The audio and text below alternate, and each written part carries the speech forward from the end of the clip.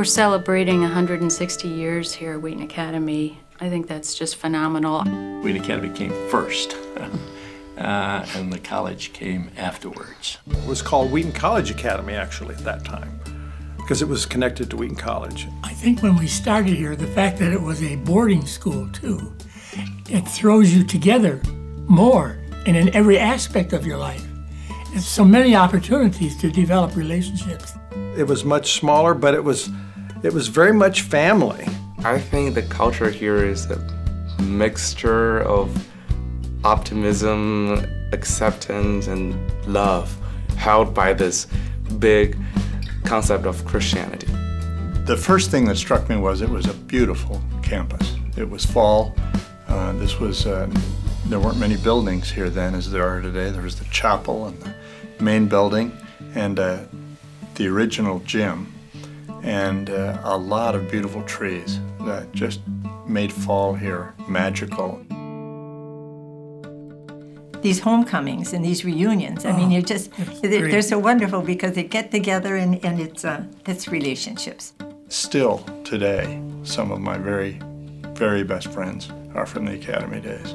Well, Wheaton Academy will always be really special to me uh, because of, of the spiritual growth that I experienced while I was here. And it's affected really every area of my life. And uh, what a great foundation I got with the, with the chapel services we had and, the, and the, the people that I got to know, the teachers that we had here, just amazing people. developing relationships with these teachers and being like held accountable by them spiritually and just being surrounded by believers in general is something that's had more of an impact on me than I could describe. For me personally, what makes Wheaton Academy special is the teacher-student relationships. I think the Academy's emphasis on excellence is an ingredient that you, that I took in as I left the Academy and just followed me through life is to, to be the best you can in whatever you're doing. We had superb chapel speakers.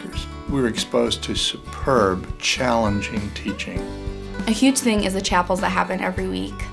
Um, hearing those and applying those have been really influential on me. This is a special place for many reasons, but it was foundational. That notion that, that faith and learning, that faith and reason belong together and, and should uh, reinforce and uh, nourish each other, uh, that began here. I took chemistry with Mr. Mack, and that really got me um, really into science. So then I interned at Fermilab, and that seeing science in the real world, that was really amazing. I never cease to be amazed at what God is doing in this place. Wheaton Academy has not rejected its formation, its formative years, its principles, and its commitment to developing future leaders who, who love the Lord and want to serve Him. They've never, they've never wavered from that. Todd was a neat kid. He spent three years here, and God used Todd in a real powerful way. For those of you who remember uh, the events of 9 11, Todd was in that flight, and he used that famous line, let's roll. A piece of the story that should be told how the Academy fits into this. David uh, Beamer, Todd's dad, he made an interesting statement, and he said, Todd was who he was because he walked these halls. He was who he was because he was on the fields. He became the man he was, and he was able to make that sacrifice. We were PSL champions, and we hadn't been a champion in decades.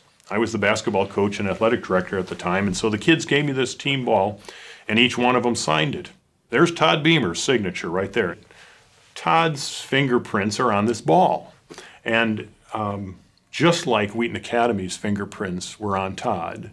What makes Wheaton Academy so much different than other schools, I can't really think of any other schools that have a reputation for being about God, but it's the only school that you look at that school and you say, whoa, there's something very different about that school.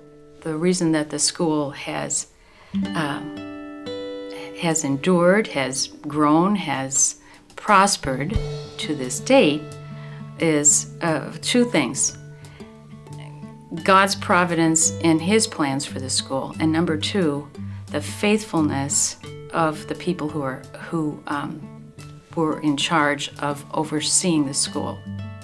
160 years, in my judgment, and when you wrap it all up, it's because God still sees a purpose for this institution and wants it to be here and wants it to flourish. I am excited that Wheaton Academy has kept the same mission since 1853, founded on biblical principles and a mission statement that I think is still reflected in nurturing growth in young people through relationships, excellence, and service, all to the glory of God. Relationships that has never changed. The relationship to Jesus and um, building that in young people. Um, excellence, we've always uh, defined excellence as people being their best, not just the best. And that does change from generation to generation. What does it take to be your best in a changing world? And being excellent, our kids will have a chance to impact that world for Christ. And that's service. And that's sending these kids out into the 21st century, being their very best, gifted as God has given them with relationship to Jesus Christ that will make a difference. And we see that as being God's unfolding story here at Wheaton Academy.